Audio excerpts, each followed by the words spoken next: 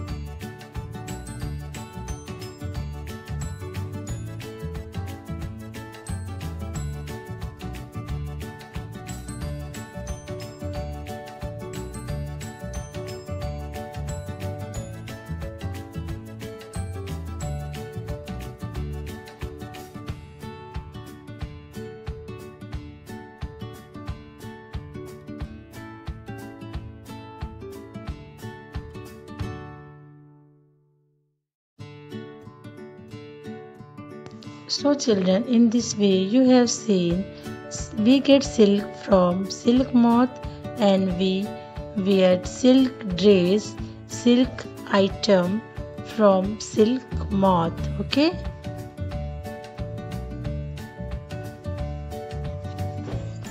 We will meet in next video with new information. Thank you. Bye. Have a nice day.